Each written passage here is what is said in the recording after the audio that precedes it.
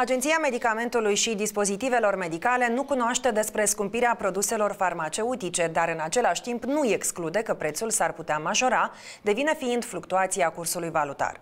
Acest lucru este menționat într-o explicație a instituției făcută publică. În același timp, majoritatea parlamentară refuză să organizeze audieri parlamentare pe subiectul scumpirilor medicamentelor, o propunere în acest sens venind de la blocul comuniștilor și socialiștilor. Agenția Medicamentului și Dispozitivelor Medicale anunță într-un comunicat de presă că nu deține informații despre majorarea prețurilor la medicamente și categoria din care fac parte acestea și presupune că ar fi vorba despre scumpirea suplimentelor alimentare. În același comunicat, agenția spune însă că realitatea denotă devierea prețurilor în valută națională datorită fluctuației cursului valutar, care suferă modificări esențiale într-o perioadă relativ scurtă, iar majoritatea produselor medicamentoase de pe piața farmaceutică a Republicii Moldova sunt de import. Subiectul scumpirii medicamentelor a fost discutat și la ședința Parlamentului, deputații blocului comuniștilor și socialiștilor au amintit că fluctuația valutară este permanentă, însă anul trecut s-au găsit instrumentele pentru a preveni o majorare a prețurilor la produsele farmaceutice. Напомню, в прошлом году курс валют также колебался, но увеличений не было. В этом году увеличения пошли. Никаких решений не предлагается со стороны ответственных органов. Opoziția parlamentară a cerut audierea responsabililor din cadrul Ministerului Sănătății și ai Agenției Medicamentului. То, что происходит последние месяцы, говорит о том, что тенденция к росту приобрела фактический характер. То есть медикаменты увеличились в цене.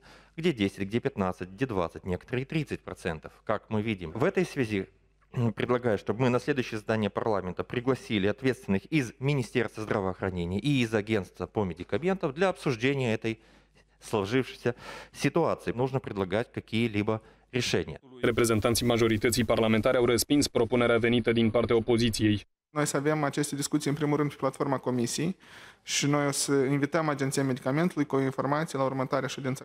Субъект глобальный на самом деле, и обсуждать его среди э, 9-10 депутатов, ну, как, как минимум, э, нельзя. Între timp, consumatorii de medicamente se plâng că nu mai pot face față scumpirilor. Cel mai mult au de suferit pensionarii, care sunt cei mai mari consumatori de produse medicamentoase. Am procurat eh, sirop pentru tusă, care era 75 de lei, dar astăzi am procurat 97. Asta precis. Acum brusc toți au început să tușească că afară de COVID mai avem și gripă și asta s-a scumpit. S-a scumpit și s-a scumpit brusc. S-au scumpit eh, pastilele eh, care pentru durere. De exemplu, acestea, eu țin minte, jumătate de an în urmă era 17 lei.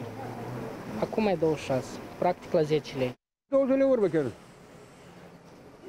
Chiar am, am procurat niște medicamente și m-am auzit că diferența de două ori mai mare. Tot s-a scumpit, nu numai medicamentele, tot, tot.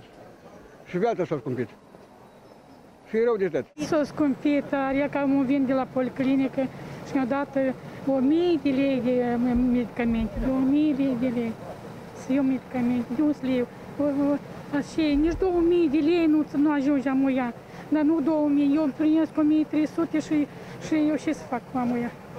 Nici mai uh, s-a dus 2000, dar 2000 nu ne ajunge nouă la pensionar. Potrivit Ministerului Sănătății, farmaciile sunt una dintre cele mai vizitate locuri din Moldova. Zilnic, peste 150.000 de oameni au nevoie de ceva de la farmacie.